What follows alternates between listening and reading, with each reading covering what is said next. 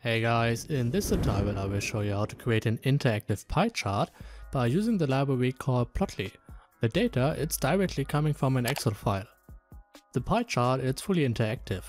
You can for example hide or unhide certain categories and the percent share for each category will be automatically calculated.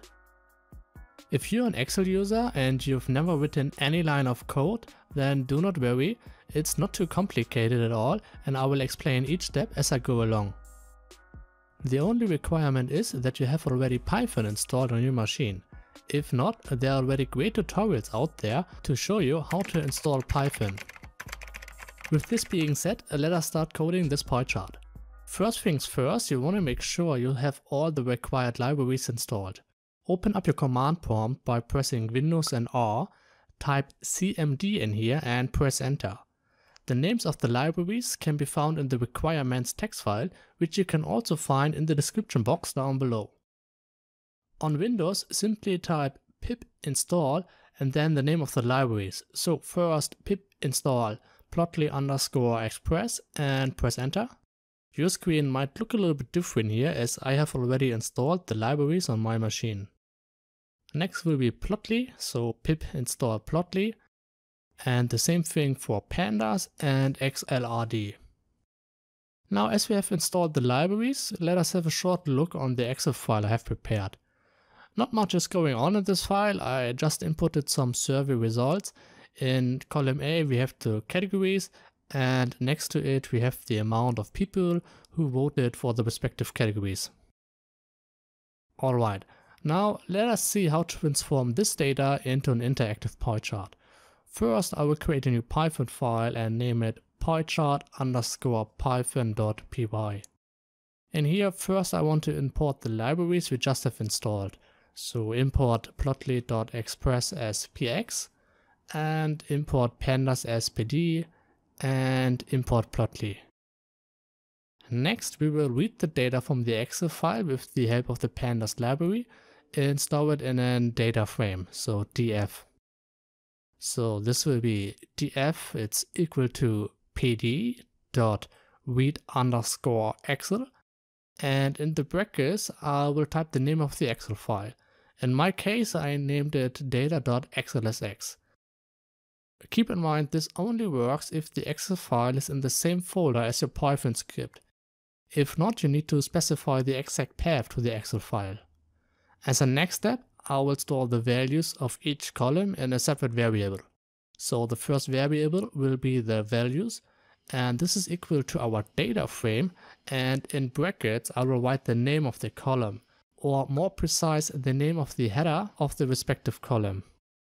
You want to make sure that the name is 100% matching with the one in your Excel file, otherwise you will get an error. We will do the same for the next variable, which will be names, and this will be equal to our categories. With those two variables, we can now create the pie chart. So this will be figure it's equal to px.pie, then our data frame, and values will be equal to values, and the names will be equal to our names, and for the title I will call mine survey results. We can now even specify further the pie chart and update the traces. So I will type figure.update underscore traces and for this example I want to display the label inside and we can specify this by the text position. So the text position is equal to inside. I would also like to display the percentage and the number of the votes for each category. So this we can do with the text info so text info will be equal to percent and label. Last but not least, we can also change the appearance of the pie chart by updating the layout. By the way, this step is completely optional, but for this example I would like to change the title font size. So we can do this by typing fig.update underscore layout and as I said for the title font size I will make it a little bit bigger, I will choose here 42. The cool thing in Plotly is that we can save the chart in an HTML file. I personally think this is pretty convenient, especially if you want to share the pie chart with others who might not even have Python installed on their machines. To export it to HTML, I will type plotly.offline.plot and then in here goes the figure and for the file name, I will call mine pychart.html. Great, now let us save the file and see if it's working. Therefore, open up the command prompt again by pressing Windows and R on your keyboard and type cmd and then press enter.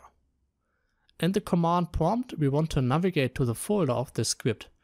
As I have saved it in a folder on the desktop, I need to use the change directory command. So cd and then desktop. Next cd and then the name of the folder is PyChart tutorial.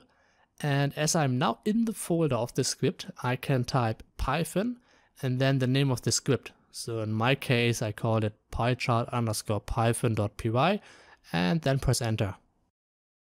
Alright, this was working and here we have it, our interactive pie chart where we can see the different percentages and hide or unhide certain categories. Additionally, the script also have saved the pie chart in an HTML file. If you want to take it even a step further, you could also execute the Python script with the help of VBA directly from an Excel file by clicking a button. If you're interested in how this works, I have a separate video for this which you can find in the info card above. Okay guys, I hope you found this tutorial useful and see you next time.